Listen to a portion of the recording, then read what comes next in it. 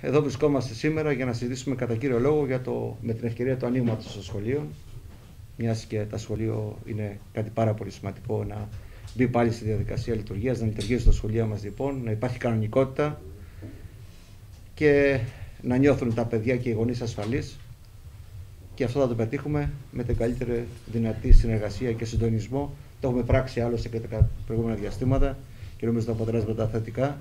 Εμείς ως Δήμος Καλαμάτα θα συνεχίσουμε να υποστηρίζουμε τις απολυμάνσεις και να κάνουμε ό,τι πρέπει για να λειτουργούν τον καλύτερο τρόπο τα σχολεία.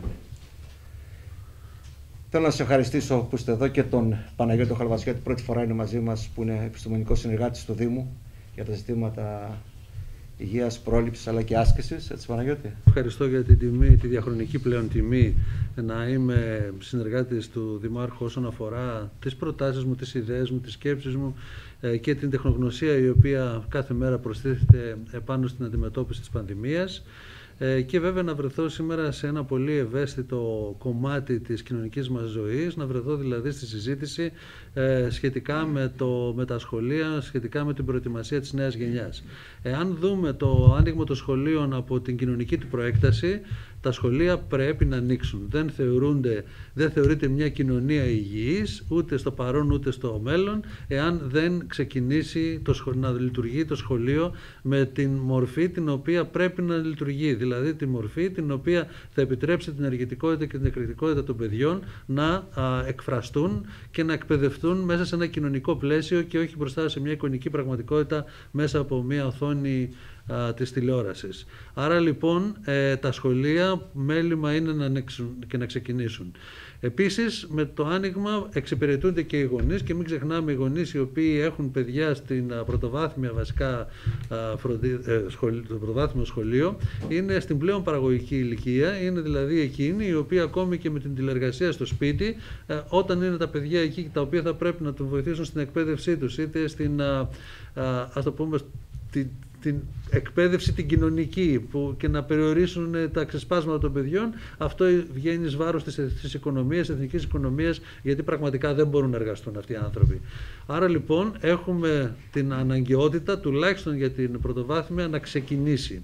Εάν πάμε τώρα από τη μεριά την υγειονομική, δεν πιστεύω να αμφιβάλλει κανένα σήμερα ότι αυτοί που κινδυνεύουν περισσότερο είναι οι διδάσκοντες παρά τα παιδιά. Οι πρώτοι δηλαδή οι οποίοι μπαίνουν στην κατηγορία του, του, του, προβληματικού πληθυσμού είναι αυτοί οι οποίοι τα διδάσκουν γιατί πολλά από αυτά τα άτομα είναι και κάποιας ηλικίας που πιθανόν ανήκουν και σε ευπαθείς ομάδες. Άρα όταν θα ξεκινήσουμε να συζητάμε για τα σχολεία πιστεύω υγειονομικά και δεν νομίζω από τους συναδέλφους που είναι παρόντες, η πρώτη προτεραιότητα είναι η προφύλαξη αυτών των ατόμων και δεύτερη είναι η ομάδα των ατόμων του πρώτου, και, ε, πρώτου βαθμού και δευτέρου βαθμού συγγενείας που συμβιώνουν στα σπίτια όταν τα παιδιά θα γυρίσουν από το σχολείο. Όλες οι μελέτες λοιπόν έχουν δείξει σε όλο τον κόσμο ότι η νοσηρότητα και η θνητότητα στην παιδική ηλικία είναι πάρα πολύ μικρή αλλά αυτό δεν σημαίνει ότι δεν θα πρέπει να λαμβάνουν τα κατάλληλα υγειονομικά μέτρα, ούτως ώστε να περιοριστεί η διασπορά μέσω των παιδιών τα οποία θα κυκλοφορούν και θα ανταλλάσσουν οποιαδήποτε ε, αντικείμενα μαζί με ιούς. Δηλαδή, ε, Ξεκινάμε λειτουργικά. Φοράμε μάσκες, κρατούν όσο δυνατόν τις αποστάσεις, τουλάχιστον εκεί που μπορούμε να τα ορίσουμε εμείς, δηλαδή στα φρανία τους, να είναι λίγο μακριά, να μην είναι κοντά. Ε, δεν, δεν μοιράζονται προσωπικά αντικείμενα, είτε είναι μολύβια, είτε είναι δεν ξέρω εγώ χάρακες, είτε δεν ξέρω εγώ για να εξυπηρετηθούν είτε παγούρια, είτε δεν ξέρω εγώ οτιδήποτε άλλο από αυτή τη μεριά. Ε, από την άλλη ε, φροντίζουμε, φροντίζουμε να κρατηθούν σε αποστάσεις ακόμα και στο παιχνίδι τους ή στην εκπαίδευση, στην άσκηση ε, ούτως ώστε να μην συγχρονίζονται πολλά μαζί στον ίδιο χώρο είτε αυτό είναι αυλή είτε είναι κλειστός χώρος γυμναστικής. ε, και χρησιμοποιούνται όσο δυνατόν περισσότεροι διαθέσιμοι χώροι, ενεργοποιούνται δηλαδή μη ενεργείς μέχρι τότε χώροι για να εξυπηρετηθεί αυτή η, η, η άνεση, ας το πούμε, η άνεση χώρου για τα παιδιά και βέβαια κρατάμε τις υγειονομικές συνθήκες όπως πρέπει. Η, η, στην πρωτοβάθμια είναι το πλεονέκτημα ότι οι εκδιδάσκοντες δεν αλλάζουν τμήματα και τάξεις, άρα αυτό περιορίζει την, τον κίνδυνο ας πούμε, δυσκολίας όσον αφορά την ιχνηλάτηση, δηλαδή αν συμβεί ένα κρούσμα ουσιαστικά το πρόβλημα θα είναι μέσα στο τμήμα αυτό ή στην τάξη όπου διδάσκει αυτός ο δάσκαλος ή τέλος πάντων βρέθηκε το κρούσμα από τα παιδιά. Άρα λοιπόν εκεί είναι λίγο πιο εύκολα τα πράγματα και βέβαια όσο πιο περιορισμένος είναι είναι ο αριθμός των ατόμων στο κάθε τμήμα, σε κάθε τάξη και ε, διαφορετικά διαλύματα, διαφορετικά με, με αποστάσεις όπως είπαμε, αυτό θα μειώσει τον κίνδυνο. Πάμε τώρα στους διδάσκοντες. Οι διδάσκοντες πέρα από τα γενικά μέτρα καλά θα είναι να ελέγχονται με τα διαγνωστικά τεστ όχι μόνο μία φορά αλλά και περιοδικά γιατί η κατάσταση είναι δυναμική και δεν είναι στατική.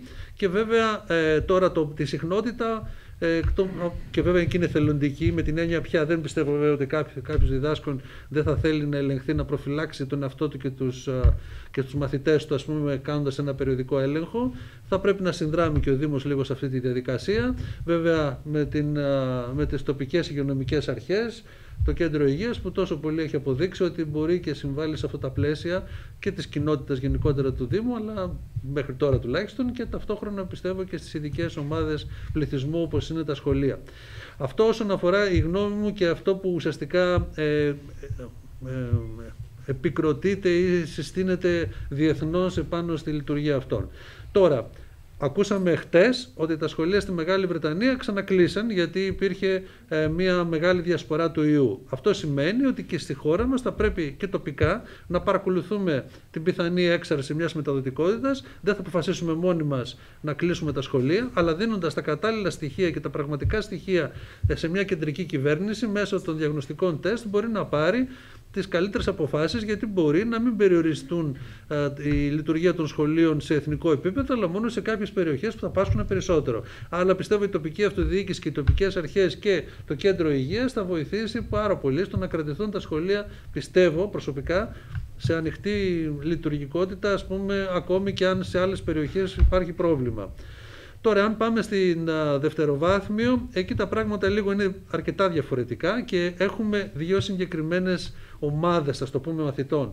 Η μία ομάδα είναι η, η τρίτη τάξη του Λυκείου και αυτή ξεχωρίζει γιατί ακριβώς είναι στο μετέχμιο της, α, στη, της φάσης εκπαίδευσης να μπουν στην επόμενη ε, στην επόμενη βαθμίδα, αλλά θα πρέπει να υποστηριχτούν γιατί είναι σε μια κρίσιμη χρονιά και βέβαια σε μια κρίσιμη κατάσταση και ο ψυχισμός τους και η αγωνία τους και το πεδίο της εκπαίδευσής τους γιατί θέλουμε καλά εκπαιδευμένα παιδιά να διαγωνιστούν ούτως ώστε να μπορέσουν να επιλεγούν βάσει των δυνατοτήτων τους στις σχολές τις οποίες θα επιλέξουν αλλά ταυτόχρονα θα πρέπει να μην τους βάλουμε περισσότερες δυσκολίες που τουλάχιστον η, η, η φάση ή η μέρα ας πούμε, ή η χρονιά η οποία ζουν δηλαδή τη φάση της ε, της κρίσεως για αυτούς ε, δίνει ιδιαίτερη βαρύτητα. Άρα λοιπόν έχουν περιθώριο η πρώτη και δεύτερη ηλικίου και το γυμνάσιο να μπορέσει να προετοιμαστεί αυτή για την, και αυτή για την επόμενη φάση. Και επειδή ακριβώς όταν φεύγουμε από την παιδική ηλικία και πάμε στην ενήλικο, στην εφηβική, στη μετεφηβική, εκεί τα ποσοστά όχι ότι είναι ψηλά, χαμηλά είναι και εκεί, αλλά είναι λίγο διαφορετικά και όχι τόσο ασφαλή σαν την παιδική ηλικία. Και επειδή επίσης είναι λίγο πιο δύσκολη αντιμετωπίσιμη η, η κοινωνικότητα, οι φιβικές εξάρσεις αυτές τις φάσεις της ζωής ε, στα πλαίσια μιας αυξημένης και ε, έντονης ε, περιοριστικής διάθεσης μιας κοινωνίας είναι λίγο δύσκολο να τη θασευθούν αν αφαιθούν ελεύθεροι. Άρα λοιπόν αυτό, αυτό είναι το γενικό καθεστώς το οποίο επικρατεί και συστήνεται διεθνώς και φαντάζομαι βάσει αυτών των κριτηρίων, χωρίς να είμαι εγώ μέλος της Επιτροπής βέβαια της Κεντρικής ή του Υπουργείου Παιδείας ή της ε, Επιτροπής Πανδημίας, πιστεύω για αυτούς τους λόγους σκέφτονται και δίνουν οδηγίες και επιτρέπουν ε, μετά από λίγες ημέρες την έναρξη του σχολικού, του σχολείου πάλι όσον αφορά την πρωτοβάθμια και για την τρίτη ηλικίου.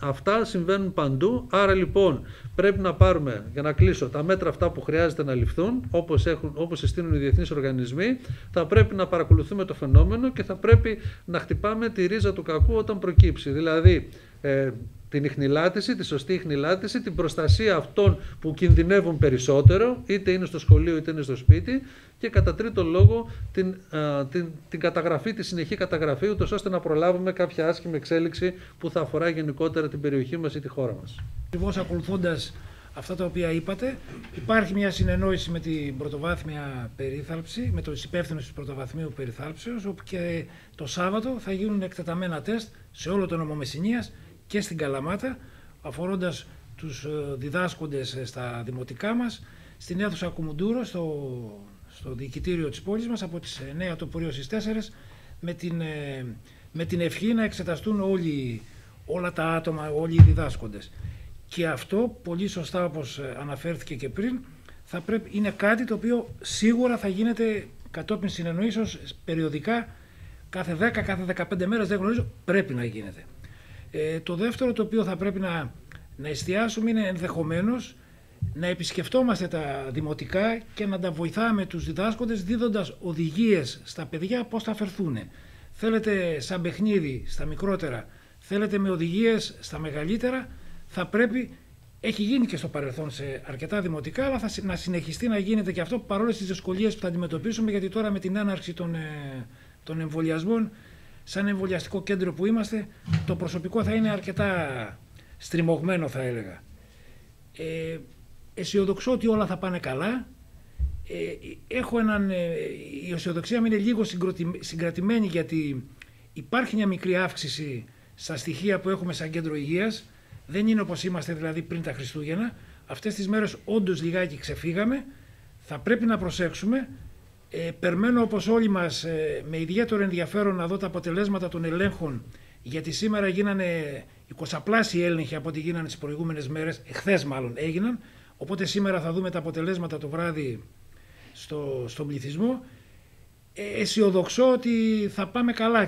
Δηλαδή, αν προσέξουμε, σωστή απόφαση της κυβέρνησης να ανοίξει τα δημοτικά και πιστεύω θα, θα σταθούμε δίπλα τους όσο μπορούμε.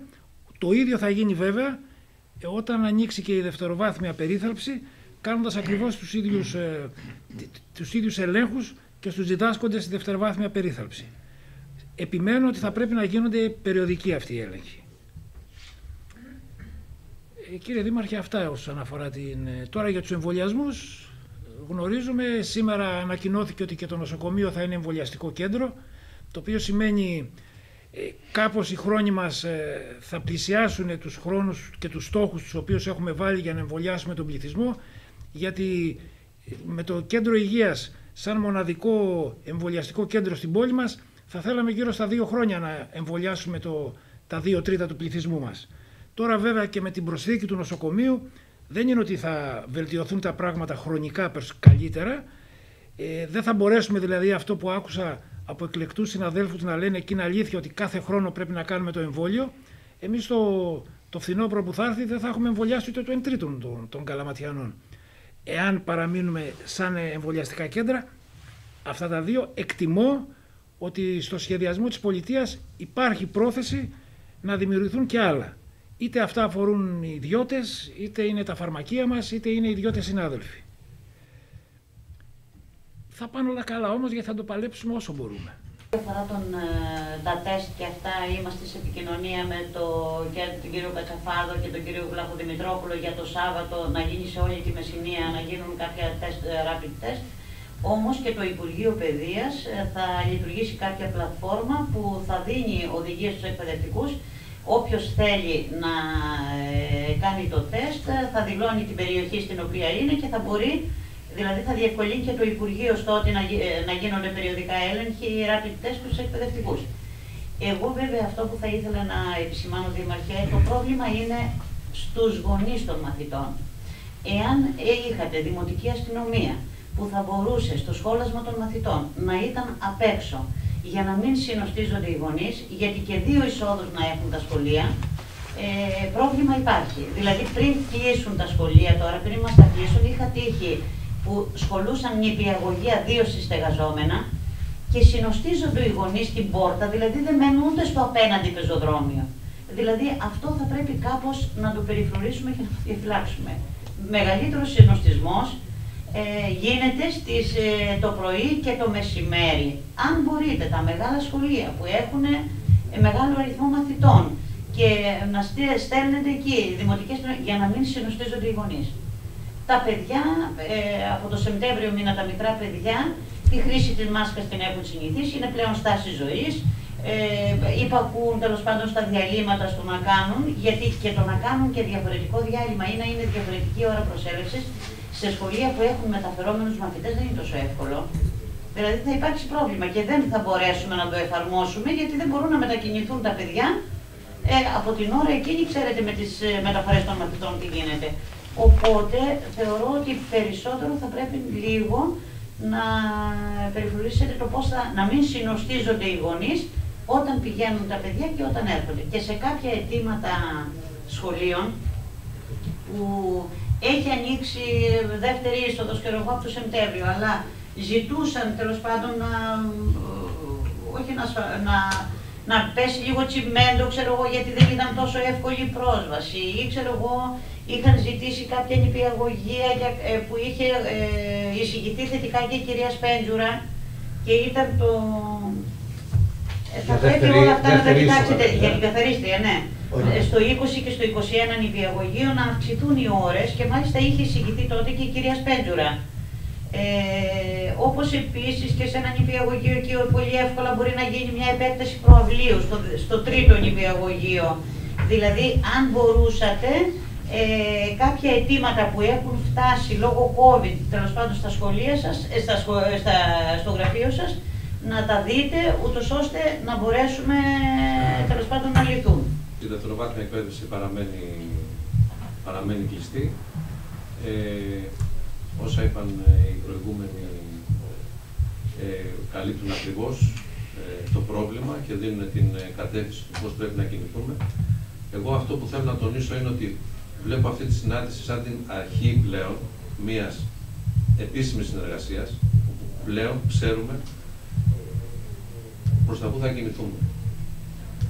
Στους προηγούμενους μήνες νομίζω ότι χωρίς να υπάρχει κάποιος θεσμικός τρόπος τρέχαμε και δεν προλαβαίναμε. Δηλαδή ο Δήμος ήταν κοντά, το κέντρο υγείας ήταν κοντά, δεν ξέραμε όμως τι θα γίνει. Δεν υπήρχαν τεστ, δεν υπήρχαν δεν ήταν καλή η χνηλάτηση, σίγουρα δεν ήταν καλή η χνηλάτηση. Μα στην προηγούμενη συνάντηση προέκυψε το θέμα να προμηθευτούμε τα τεστ και να το διαθέσουμε.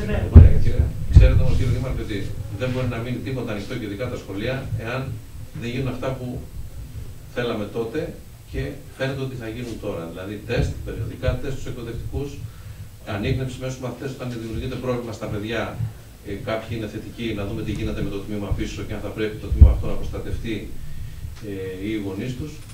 Να δοθεί έμβαση στην τρίτη ηλικία οπωσδήποτε για να τα αντιμετωπίσουμε. Αν η τρίτη ηλικία παραμείνει 1,5 με 2 μήνες κλειστή ακόμα, είναι για μένα αρχίζουν και δυσκολεύουν τα πράγματα θα γίνουν πάρα πολύ δύσκολα. Δεν ξέρω πώς θα μπορεί να χρησιμοποιηθεί η ύλη τους, δεν ξέρω σε κινήσεις πλέον θα πρέπει να, να πάμε. Το θετικό επαναλαμβάνω και πάλι είναι ότι ξεκινάει πλέον μια επίσημη, επίσημα πλέον θεσμικά μια ε, συνεργασία, δίνονται κατευθύνσεις και όταν θα έρθει η σειρά των, ε, να ανοίξει, υπάρχει η εμπειρία. Όλα καλά αυτά που λέει η κυρία Σιούτη με την πάει δημοτική αστυνομία θα είναι λίγο δύσκολο. Νομίζω ότι στους εκπαιδευτικούς πέφτει αυτός ο, ο ρόλος ο δύσκολος. Πρέπει όλοι να ενεργοποιηθούμε. Όταν τα παιδιά έρχονται ή φεύγουν από το σχολείο, πρέπει να είμαστε όλοι έξω. Τουλάχιστον αυτό, αυτό προσπαθούμε να κάνουμε στα γυμνάσια και στα λίγια, έτσι ώστε να μην συνοστίζονται οι γονείς και ήδη πρέπει να το καταλάβουν. Έτσι δεν γίνεται διαφορετικά. Και νομίζω ότι νομίζω να τα καταφέρουμε.